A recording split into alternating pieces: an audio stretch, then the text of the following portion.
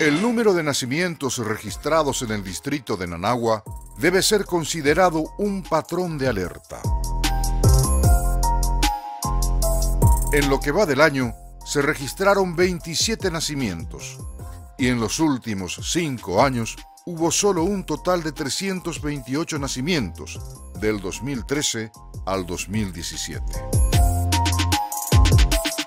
Otra de las preocupaciones es justamente que la comunidad del distrito de Nanagua vaya quedando a la larga sin habitantes paraguayos, porque la mayoría cruza al lado argentino para tener a sus hijos.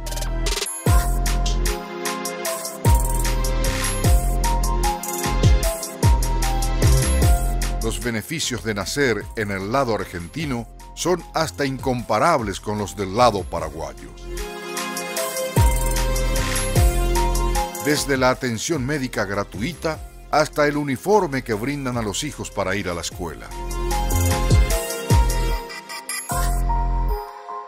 La cercanía con la Argentina sirve de espejo, o en su defecto, de espejismo, porque si no refleja lo que el lado paraguayo es, al menos refleja lo que podría ser y no lo es.